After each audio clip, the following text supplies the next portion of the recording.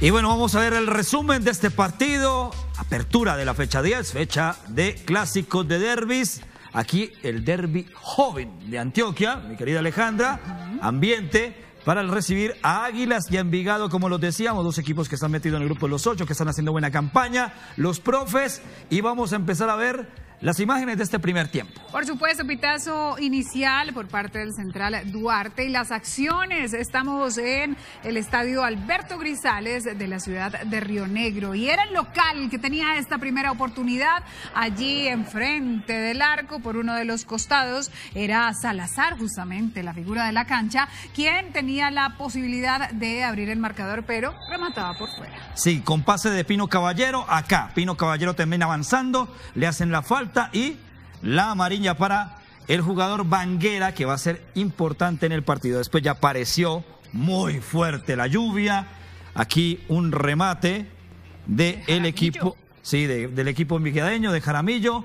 Tenían que aprovechar la larga distancia porque, como decían Noreña en, en, las entrevistas del final del encuentro, no se podía jugar, no se podía elaborar, juego directo, patear desde lejos, probar a los jugadores y acá en una mala salida, Salazar termina centrándola y aparece Pino Caballero de una ala a otra ala, de la ala derecha a la ala izquierda y termina anotando. Aquí recuperan rápido, obviamente lo que decíamos, la pelota no se elevó mucho, la recupera el equipo de Águilas, salida rápida para Salazar, John Freddy Salazar, la figura del partido del centro, y no logra impactar la banguera y llega solito.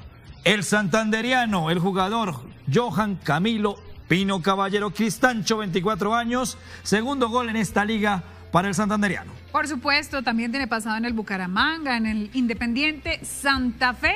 Y bueno, en esta ocasión se eh, hacía presente en el marcador. Bastante fuerte estuvo la lluvia allí en Río Negro, en el departamento de Antioquia. Hubo que pues, hacerle algo de mantenimiento al terreno de juego para poder disputar el complemento, ¿no? Esto sería ya la segunda parte. Sí, aquí seguía atacando el equipo de Águilas Doradas por medio de Salazar John Freddy, que, como decían en la transmisión, tiene patines en los pies. ¡Qué velocidad! Pero llega a cortar bien Parra antes de la llegada del extremo volante del equipo dorado. Aquí el choque, buscándolo desde el saque de banda. El equipo envigadeño, muy bien por el portero Contreras, que fue una de las figuras del partido. Van a ver más adelante porque lo decimos aquí, el ataque y bien por el cierre, los reflejos del portero de Águilas Doradas. Por supuesto, era el señor Contreras quien se lucía en esta jugada peligrosa justamente para su equipo. Y acá otra acción de peligro en la que tiene que rechazar el balón el jugador de Águilas Doradas, también se ve involucrado el eh, jugador de Envigado que venía allí en ataque, justamente era Banguera quien sufría también en ese choque.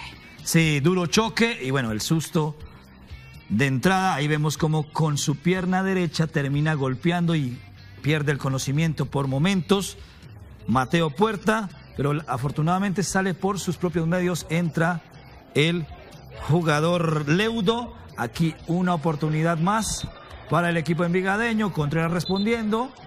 El portero de Águilas Doradas, una pelota que va alta, pero siempre es complicada y más si llovió acá. Una oportunidad más para el equipo Águilas Doradas y muy bien por Parra que termina salvando lo que era el segundo. Ahí vemos cómo el jugador Rivas termina ubicando a John Freddy Salazar que no puede patear de la mejor forma y con un manotazo Parra lo intenta. Aquí vemos una jugada más y se va a ir expulsado Banguera, un jugador ya tenía amarilla, ¿no? Sí, ya tenía amarilla. Es un jugador de proceso de sub-20, de por sí Envigado, es el campeón de la Supercopa sub-19. La cantera. Sí, la cantera de Héroes. Del 2022, este jugador era el central titular, obviamente por la buena presentación de ese equipo, lo suben al, al equipo de primera. Quizás este, en este partido no le fue bien, todos tienen derecho a tener un partido malo y se termina yendo expulsado. Acá la que le decíamos, impresionante Contreras, pelota eh, fuerte abajo y con cancha mojada. Por supuesto, las dificultades e inclemencias del clima se hacían presentes en esta apertura de la fecha de clásicos que se terminó llevando el equipo de este señor, Lucas González. Águilas Doradas que en la clasificación después de